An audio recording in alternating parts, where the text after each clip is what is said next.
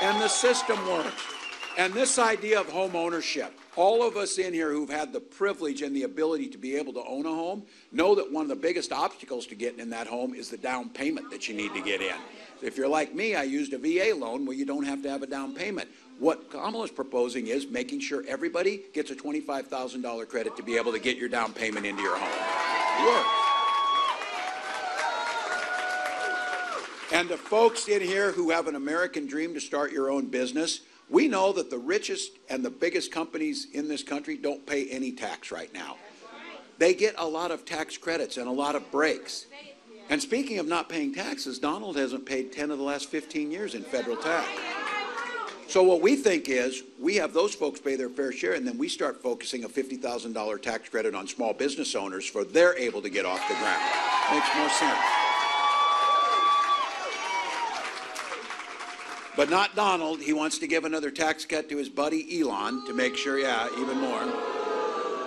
At your expense. He's got a plan that no one agrees with. Remember during COVID, he didn't want to listen to medical personnel. He told you to inject bleach.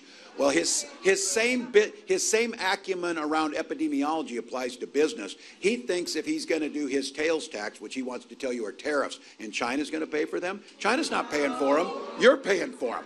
Four thousand dollars a year. Four thousand dollars a year out of your pocket. All right. You would think after nearly 80 years he would have learned what a tariff is, wouldn't you? It's an 80 year old man. He should have learned this thing. Did I say he was nearly 80? That he was nearly 80? That's all right. So he's nearly 80. He said, I'm not nearly 80. It's like 18 months away. Uh, he's nearly 80. Look, some of you in here, and I know there's folks in this room, we know that our system of government was never perfect, but it was better than any other one ever concocted. And it meant working together. And let's just acknowledge the Republican Party over the years contributed much to this country. And the parties that kept their word, when those old Republicans talked about freedom, they meant it. That's not who this guy is. When this guy talks about freedom, freedom to have government in your doctor's office, in your school library, in your bedroom. Golden rule up north, as I'm sure it is down south. Things work better if you just mind your own damn business about my bedroom. Stay out of your bedroom.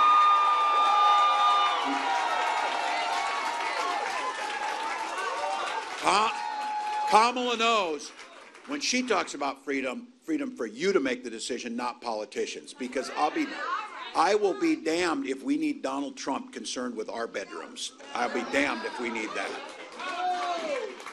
He needs to worry about his own on this. You know that.